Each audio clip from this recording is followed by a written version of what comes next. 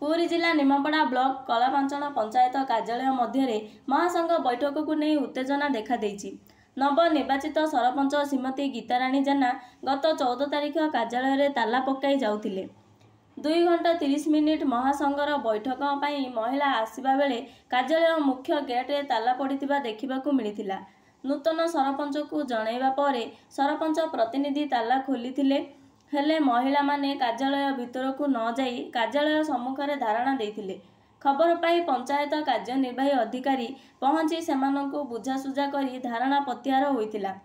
BDO ବସନ୍ତ ମଲ୍ଲିକଙ୍କ ନିର୍ଦ୍ଦେଶକ୍ରମେ ppm ମଧୁଚନ୍ଦା ପ୍ରଧାନ ପଞ୍ଚାୟତ କାର୍ଯ୍ୟନିର୍ବାହୀ ଅଧିକାରୀ ଓ ଚାରିଛକ ପାଣ୍ଠି ଅଧିକାରୀ ଶିଶିର ମହାନ୍ତି ପହଞ୍ଚି ଆଲୋଚନା କରିଥିଲେ।